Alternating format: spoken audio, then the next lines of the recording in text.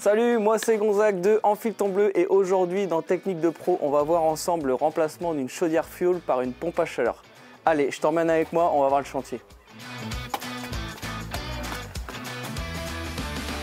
Nous sommes dans une maison de village dans le Beaujolais, pas très loin de Lyon. C'est une maison des années à peu près 1970. On a 150 mètres carrés au sol et on est sur un rez-de-chaussée et deux étages. Voilà pour la maison et maintenant on va aller dans l'endroit que je préfère, c'est la chaufferie. Allez, je t'emmène.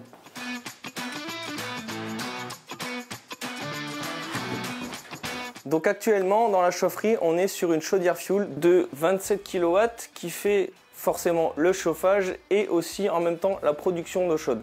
Donc là l'idée aujourd'hui c'est de remplacer tout ce qui est là la pose d'une pompe à chaleur. Ce qu'il faut, c'est qu'on mette tout en vidange, le ballon d'eau chaude, le chauffage, qu'on évacue aussi les cuves fuel qui sont derrière. Et vraiment, en troisième temps, une fois que tout sera débarrassé, qu'on aura tout remis au propre, on installe un chauffe-eau plat de chez Altec en provisoire pour que les clients puissent avoir de l'eau chaude tout au long du chantier.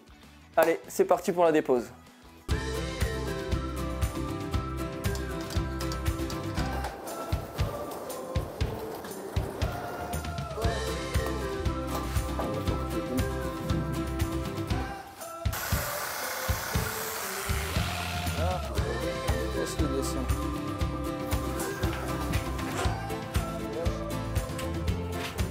Comme tu as pu voir, on a déposé la chaudière, les Q-Fuel, elles sont parties, elles sont dehors, donc on a place nette, donc déjà ça fait du bien, on voit un peu mieux ce qu'on va faire. On a coupé les tuyauteries, donc ça super important, avant de couper les tuyauteries, on avait bien repéré nos tuyaux, on a coupé, fileté, on a nos attentes qui sont prêtes pour repartir en cuivre. Ici, on va devoir aussi reboucher euh, la fumisterie, donc on va recouper tout ça au propre, on va reboucher nickel. Repérage tuyauterie eau chaude eau froide. Donc là, on a coupé eau chaude eau froide, on a bien décapé les tuyauteries pour pouvoir repartir après par la suite sur la nouvelle installation. Et toutes les tuyauteries eau chaude eau froide qui repartaient de l'autre côté, puisque les arrivées arrivent de l'autre côté, on a tout coupé et on a installé le ballon provisoire qui va permettre aux clients de pouvoir avoir l'eau chaude tout au long du chantier.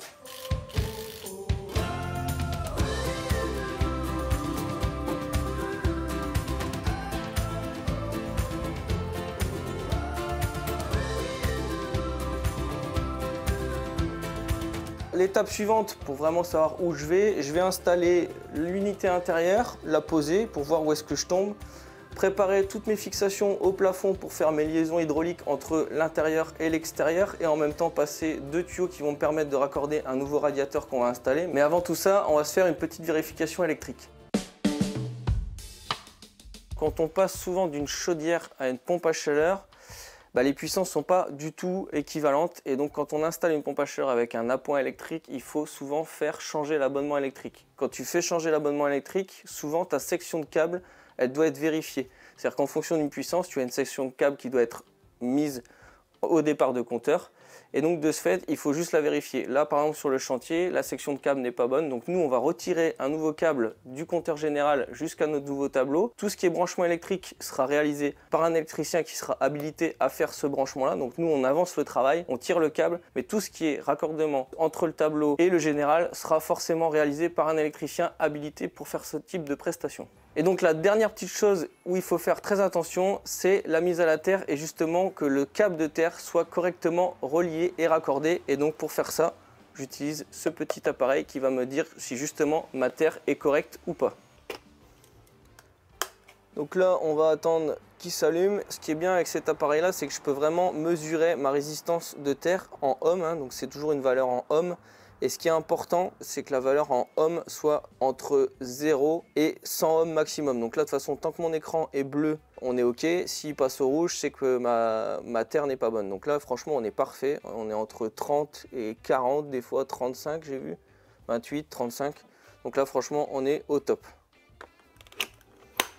Donc cette étape-là, elle est importante parce que déjà, ça va me permettre de demander à l'électricien qui vient en même temps raccorder de me refaire la terre si elle n'est pas bonne. Et de toute façon, une fois que le tableau électrique de la pompe à chaleur sera fait, que toutes les alimentations de la nouvelle installation seront raccordées, on vérifiera qu'il n'y ait pas d'inversion de phase neutre, ça c'est hyper important, et on revérifiera la mise à la terre, qu'elle soit vraiment conforme.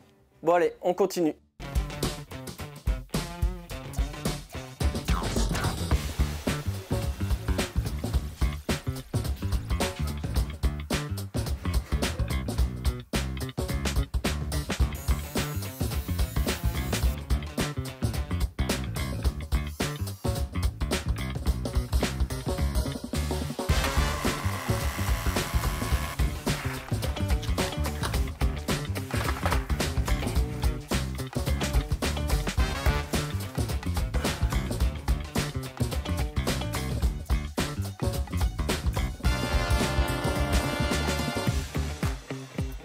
Bon, comme tu as pu voir, là on a réalisé toutes les tuyauteries jusque là. Et là maintenant, comme je dois finir les tuyauteries là et que je veux que ça sorte au bon endroit, ce qu'il faut que je fasse avant de continuer la tuyauterie pour la connexion entre l'intérieur et l'extérieur, il faut que je positionne le groupe extérieur avec les sorties au bon endroit pour que après je puisse faire les deux percements.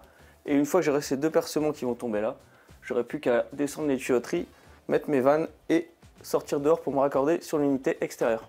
Allez, je t'emmène dehors, on va voir ça.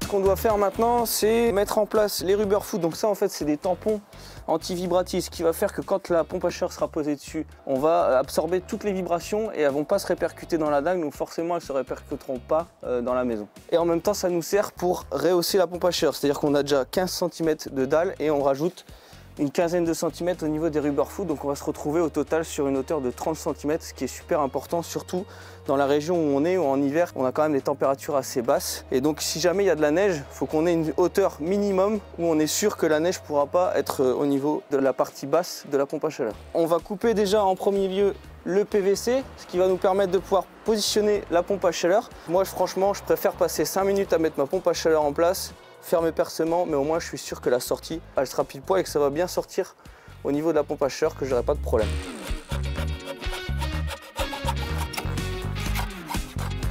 Donc là ici au niveau du PVC ce qui a été fait c'est qu'on a fait un puits de perte parce qu'on n'avait pas d'évacuation euh, qui passait dans le coin, on n'a rien du tout qui passe dans le coin. Donc ce qui a été fait c'est un trou à peu près d'un mètre cube où on a mis un géotextile, un mètre cube de gravier, on a mis un PVC à l'intérieur, un PVC type drain. Donc en fait on a fait des entailles à la meuleuse dedans pour que l'eau puisse s'infiltrer tranquillement dans le puits de perte.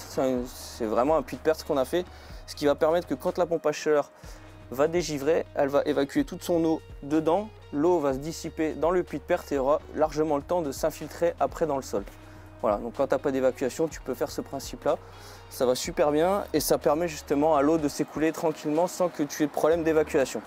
Et donc une fois que le puits de perte a été fait, on a recouvert de géotextile et après on a fait deux fondations de chaque côté. Donc on a creusé de 40 cm, on a fait deux fondations où on a collé du béton, on a mis un treillis, on a recoulé la dalle sur une quinzaine de centimètres. Maintenant ce qu'on fait, je prends l'anthrax de ma pompe à chaleur au niveau du piétement et on va prendre la pompe à chaleur et on la pose sur les rubber foot.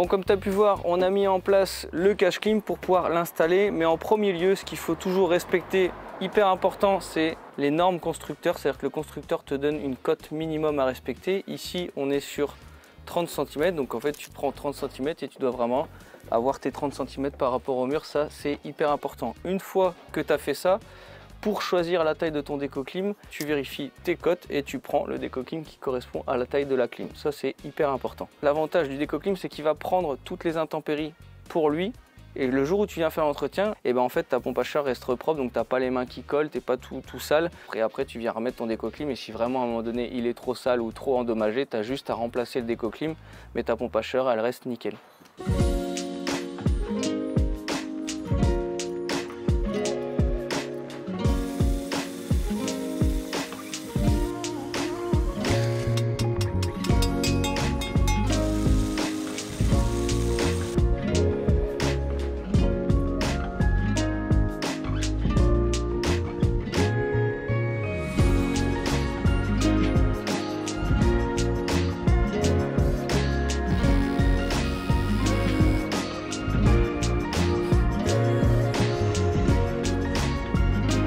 Comme tu vois là je suis en train de poser un boîtier, ça s'appelle une coupure de proximité. Si tu coupes ici, tu sectionnes l'alimentation et donc de ce fait si tu interviens sur le groupe extérieur, que ce soit pour vérifier le ventilateur, pour l'entretien, pour un SAV, pour vérifier le compresseur, enfin bref, pour tout tester, tu peux tout faire hors tension et travailler en toute tranquillité.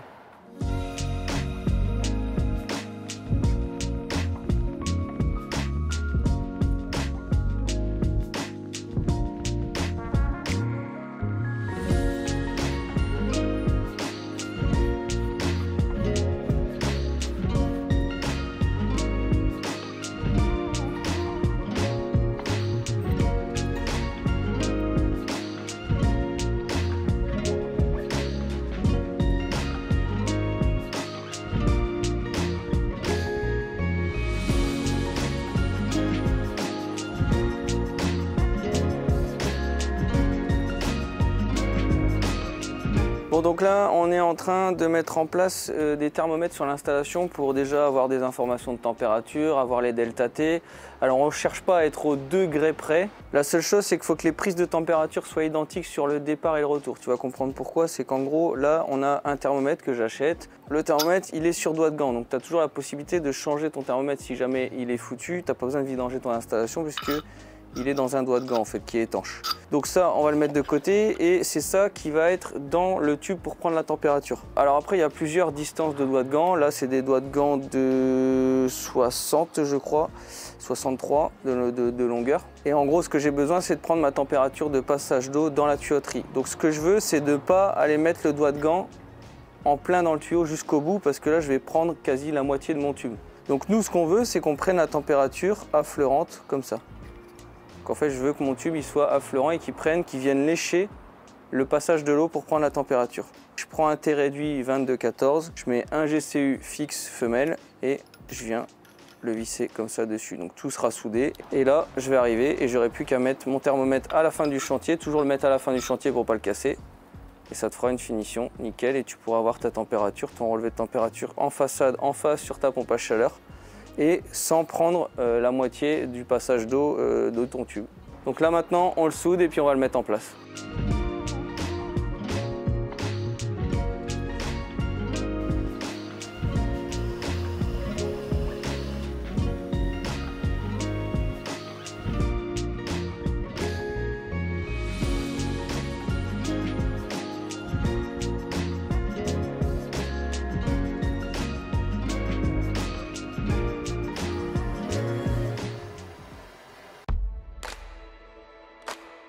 Donc moi, ma petite technique, tout le monde ne fait pas ça. Il y a certains fabricants qui vous vendent directement avec la pompe à chaleur une vanne euh, qu'on appelle une vanne à tamis. Donc il y a un tamis intégré dedans. Je ne suis pas spécialement fan de ça puisque les vannes sont quand même relativement petites. Ma petite technique, c'est que à partir du moment où j'ai ma section de tuyauterie, là on est sur du 28, je double ma section. Donc là on est sur un filtre à tamis en 1 pouce 1 demi, ce qui va vraiment me garantir un énorme passage au niveau du filtre. Donc je vais te montrer ce que ça donne avant que je te le démonte, on ferme ces deux vannes comme ça, voilà, ici. Et euh, ce qu'il faut savoir, c'est qu'il ne faut pas qu'il soit inversé avec la tête vers le haut, parce que quand je vais desserrer mon filtre à tamis, ici, je vais forcément avoir toute l'eau qui va tomber avec les impuretés. Donc tu peux juste mettre un récipient juste en dessous. Si tu es dans le sens inverse, les impuretés vont faire comme un entonnoir et elles vont rester dedans. Et ça, c'est pas super bon parce que quand tu vas remettre ton filtre, et ben potentiellement il y a des impuretés qui peuvent repartir dans ton échangeur à plaques et ça c'est pas terrible. Donc voilà, en fait c'est ce système là et tu vois qu'en fait au niveau de l'échange il est beaucoup plus important, beaucoup plus gros et c'est pour ça que je surdimensionne ça parce que je suis sûr que pendant un an je vais pas devoir revenir chez mon client pour juste nettoyer ce filtre là parce qu'il y a un défaut de débit. Donc pour le nettoyage, euh, une fois que tu l'as démonté, eh ben voilà, tu as mis ton seau en dessous, tu l'as enlevé, tu prends ce filtre là. Alors soit tu prends une petite brosse à dents si les impuretés sont bien accrochées, mais sinon souvent sous un évier, un petit peu d'eau chaude ou de l'eau froide, tu le passes avec le doigt, tu enlèves toutes les impuretés qui auraient pu rester collées dessus, tu le remets en place correctement, tu le remets ici, tu le visses. On est sur un joint torique donc ça sert à rien de serrer comme un dingue. Voilà, on est contre et c'est terminé, on est étanche. Donc comme le pot à bout, le filtre à tamis s'installe toujours sur le retour de l'installation. Maintenant, je vais en profiter, je vais t'emmener directement voir le pot à bout et te faire une petite explication.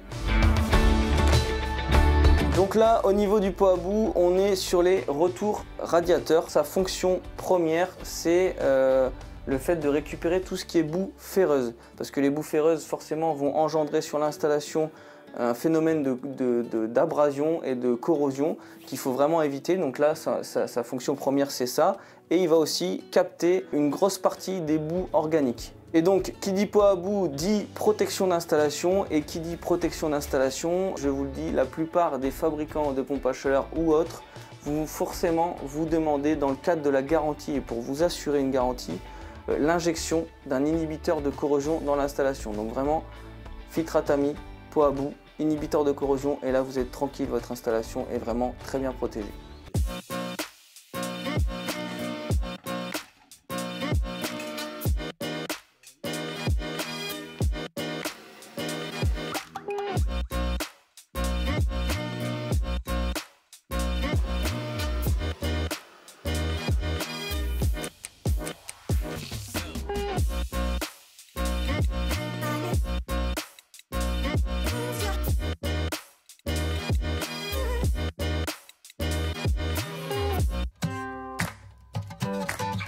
Comment j'ai déterminé la puissance de la pompe à chaleur. C'est franchement hyper simple. Tu vas sur Plus, tu rentres déjà en premier lieu ta région, ce qui va déterminer ta température extérieure de référence. Après, on rentre le nombre de mètres carrés et après, on rentre l'année de la maison. Voilà. Et avec ces trois critères-là, ça va déterminer une puissance. Une fois que ta puissance est déterminée, tu choisis une marque. Et une fois que tu as choisi ta marque, et ben voilà, on a posé ce type de modèle-là, une pompe à chaleur de chez Dekin en haute température, liaison hydraulique. Par contre, quand tu poses une pompe à chaleur en rénovation, il y a une petite subtilité à savoir, donc je t'emmène à l'intérieur et je te montre tout. Donc je voulais aussi t'expliquer que quand tu poses une pompe à chaleur, il est hyper important de vérifier aussi la taille de tes radiateurs, puisque la pompe à chaleur envoie des températures plus faibles qu'une chaudière fuel. Donc vraiment la chose la plus importante, c'est de vérifier que tes radiateurs soient bien dimensionnés. Alors là, ici, on a de la chance, on est sur des radiateurs fonte qui sont surdimensionnés déjà, mais comme tu as pu voir, on a aussi dû remplacer, enfin même rajouter un radiateur puisqu'il en manquait un pour vraiment couvrir la puissance totale de la maison. Par contre, si sur votre installation vous avez des radiateurs alu ou radiateurs tôle, faites vraiment attention au dimensionnement de vos radiateurs, c'est hyper important pour le bon fonctionnement de votre installation.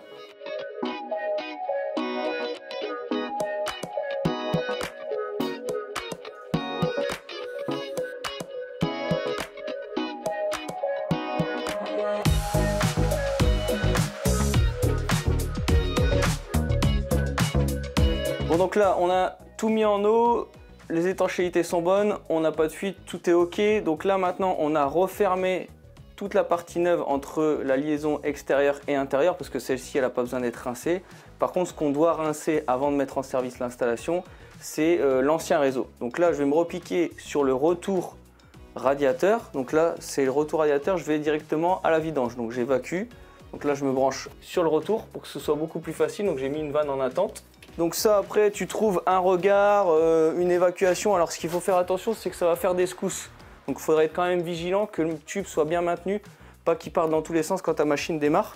Je mets le tuyau dans les vacs, je vais brancher mon flexible sur l'arrivée d'eau. Je t'ai pas précisé mais on ne fait pas de désembouage, on fait un gros rinçage hydro-pneumatique. Donc c'est une machine qui me permet d'envoyer de l'eau et de l'air en saccade donc ça va faire des saccades et ça va décolmater le fond des radiateurs. Mais là, on est plus sur un gros rinçage assez efficace, même très efficace. Quand on a vidé l'installation de chauffage, on s'est aperçu que l'eau n'était pas non plus très noire, très sale. Si vraiment, en lançant la machine, je me rends compte que l'eau est très très très très sale, là, il faudra que je pense à faire des embouages chimiques pour justement euh, vraiment évacuer toutes les boues qu'il pourrait y avoir dans l'installation. Dernière étape, bah, en gros tu te rebranches sur la sortie de machine, donc c'est elle qui va m'envoyer de l'eau et de l'air comprimé dans ce tuyau là.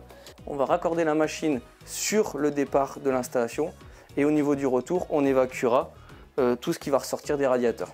Donc là pareil j'ai mis une vanne sur le départ, je vais lancer le désembouage et il faut être vigilant à ce que toute la nouvelle machine, tout ce qui est nouvelle tuyauterie, nouvelle machine, ça n'a pas besoin d'être désemboué, donc on ferme tout au niveau du haut de la machine. Toute la partie neuve, toute la pompe à chaleur, pas besoin de la rasser, ça sert à rien. En premier lieu, j'ouvre ma vanne de vidange. Je ne mets pas encore en eau, j'ouvre juste ma vanne de vidange. Donc là, voilà, c'était sous pression, on évacue, on va repartir à zéro. Comme ça, tu t'assures ton évacuation est bonne. On va vidanger la pression qu'on a mis pour vérifier les étanchéités. Et une fois que ça aura bien vidangé, après je pourrai lancer la machine. Donc là, comme je t'ai expliqué, je l'ai mis en mode vidange et ça me permet de voir si mon tuyau il flotte pas, s'il s'en va pas. Là, tu vois, je suis tranquille, je suis sûr qu'il va pas partir. Et comme j'ai ma machine tout prêt, au moins si jamais il y a quoi que ce soit, je pourrai toujours intervenir. Je vais mettre mon tuyau sous pression, mais j'ai laissé ma vanne de départ où je prends mon flexible dessus, je l'ai laissé fermer. Donc je vais mettre en pression ma machine, ma tuyauterie, mais je n'ouvre pas encore la vanne vers l'installation. J'ouvre mon robinet donc là, tu vois, elle est allumée. Je choisis mon mode rinçage, donc je valide. Je mets mon diamètre nominal, donc là on est bon, on est sur du 22, donc je reste sur un DN20, ça suffit. Et je vais régler mon pourcentage d'air comprimé. Donc moi en général, je mets à peu près à 150. Je fais OK et là, je vais pouvoir ouvrir ma vanne de départ. À pas oublier, je l'avais enfoncé pour pas que ça fasse de bruit, mais là il faut que je mette en route le compresseur parce que forcément pour envoyer de l'eau et de l'air comprimé, il faut que le compresseur démarre. Chose importante, tu ouvres radiateur par radiateur. Donc une fois que tu as fait un rinçage de radiateur, tu passes à l'autre et ainsi de suite. Une fois que ton eau est propre, tu fermes le radiateur que tu venais d'ouvrir et tu passes à l'autre.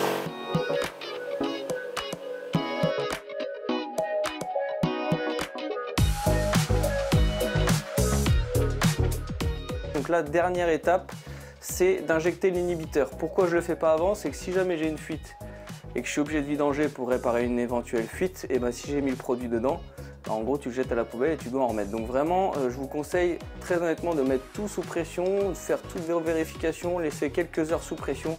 Une fois que c'est ok, pas de fuite, pas de perte de pression, euh, on injecte l'inhibiteur. Donc maintenant je vais te montrer comment j'injecte l'inhibiteur dans l'installation. L'avantage avec ma petite bouteille de mélange, c'est que je vais pouvoir vidanger par en dessous et injecter mon produit par au-dessus. Donc la seule chose à faire, c'est de bien isoler mes vannes. Donc là, je vais fermer ça, je vais fermer mon pot à bout.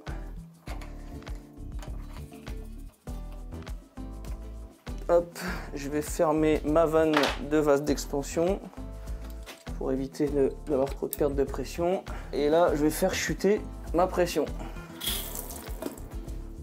je vais desserrer mon purgeur. Ça coûte rien, ça prend pas longtemps. Parce que je pourrais injecter ça dans mon pot à bout, mais comme je dois y injecter un litre, bah, je vais devoir le faire en deux fois. Donc euh, là, je préfère le faire directement par ma vanne au-dessus de ma bouteille. Donc là, on va faire un petit appel d'air. On va vidanger un petit litre. Comme ça, c'est à peu près la quantité du volume qu'on doit mettre dans la bouteille. Donc je vais enlever un, litre, un litre et demi. Et comme ça, après, je pourrais injecter mon produit par au-dessus. Hop, donc là, je mets mon petit entonnoir. Et après, ben, j'injecte mon inhibiteur. J'ai un récipient, hein. j'achète ça en bidon de 5 litres, 20 litres, ça dépend, tu fais ce que tu veux. Et après, je le transvite dans des, dans des contenants d'un litre. C'est pour ça que c'est dans une petite bouteille comme ça. C'est bon, j'ai mis le produit. Je vais essuyer un peu l'eau qui s'est écoulée sur les côtés. Et là, après, je revisse mon purgeur. Je vais le rouvrir un petit peu. Et là, je vais remettre sous pression. Comme ça, même s'il reste un petit peu d'air en haut de ma bouteille, ça va remonter, ça va purger ma bouteille. Et ce sera tout bon. Donc là, je vais rouvrir ici. Hop. Voilà. Donc là, c'est bon. un petit coup de purge. Et voilà, et là je rouvre ma vanne de pot à bout et c'est tout bon. J'ai injecté parfaitement mon inhibiteur dans l'installation et je suis sûr que mon installation est totalement protégée. Maintenant que l'installation est terminée, mise en eau, sous pression, tout est ok, je vais te faire une petite présentation de ce qu'on a réalisé, de ce qu'on a posé. Donc là, en premier lieu, on va autoriser la pompe à se mettre en route en chauffage et en eau chaude. Et après, on va faire tout ce qui est réglage de pente, tout ce qui est réglage de température de ballon